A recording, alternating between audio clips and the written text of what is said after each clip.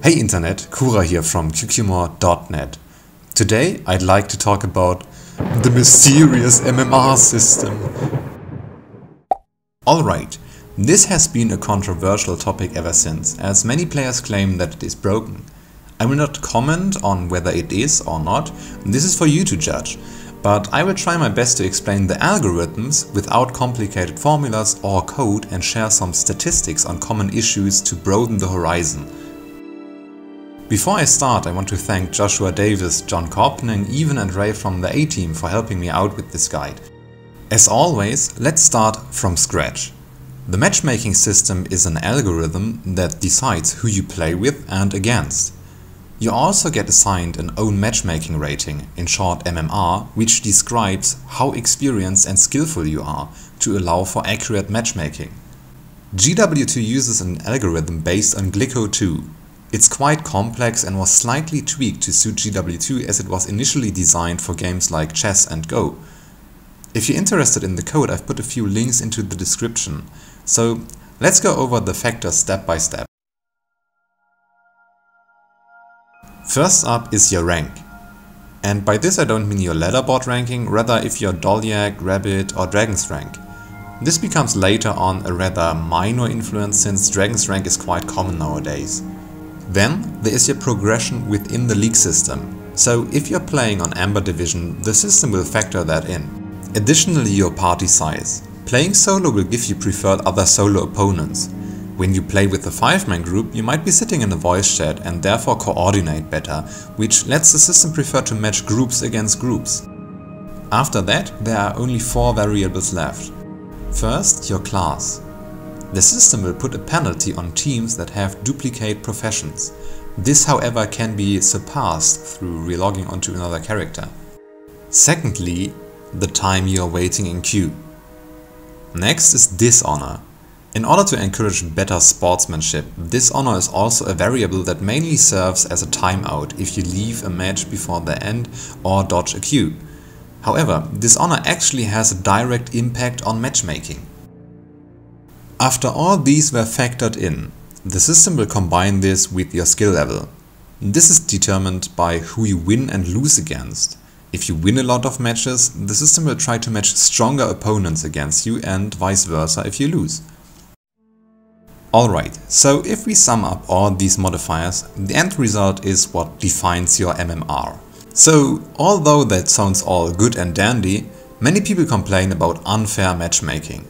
It appears that there are sometimes bugs that cause you to be matched against full teams when you enter the queue all on your own. Then there are wild reports that people lost countless games in a row. There must be something wrong with it, right? Well, the Glicko system works in preferences mostly, while trying to establish a precise matchmaking within a reasonable time, which will always lead to a compromise in between. Assume that there is a player who isn't really super pro at PvP but also not new to it. He has a personal MMR of, let's assume 5. The plan for this evening is to play a few rounds with friends who also happen to be on the same skill level. So the Glicko system will now, since they are all on the same level and within a group, automatically try to find a group that is on their level. At best, this would be a 5-man group with an MMR of 5. Time passes by and after a while there was no match. So what happens now? Are they doomed to stay in queue forever? Not really. The system, as said, prefers to match your premade group against a premade group. However, as time goes, it will likely match you against a non-full premade group or a bunch of solo queuers. Because of your benefit of being in a premade group, the system will pick opponents which have a higher MMR as you have with your friends to make up for the lack of coordination. Does that still sound off point? Let's look at some more data which was provided from ArenaNet. According to their statistics, 46% of all games are perfectly matched according to factors like team size. Alright, that still gives us 54% complete mismatches, doesn't it? Well, from all mismatches, roughly 69% are only off by 1, which means there might be a two-man group within a bunch of solo queuers. But still, wouldn't it be possible that we match everything even more precisely and compromise on a bit of queue time? I doubt that's not doable. However, only 1% of all matches played in ranked are 5-man groups against 5 randomly assigned players. That's one match out of 100 played. The last data, however, was in my opinion the most interesting though. If you play with 5 random people against a full group, your chances to win are statistically 52%. This might sound surprising, but when you consider that the system tries to compensate pre-made groups with players with a higher skill, this begins to make more sense. Alright, that was quite some input. I hope I could help you to understand the matchmaking better and to give you a broader view. During the explanation I distanced myself from any judgment, but if you're interested, this is what I think.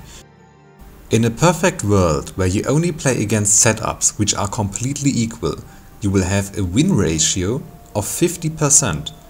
If it's 60%, your enemies are not skillful enough. If it's 40%, they're probably too strong. Still, I find that we are getting pretty close to the number overall. And don't get me wrong, losing 10 matches in a row is very frustrating. However, I never heard a player complain because he won 10 matches in a row. When I think about these things in the form of a bigger picture, I realize that winning 10 matches is just as likely as losing 10 matches, which makes it equal, 50-50 so to say. And as always, thanks for watching and good luck have fun.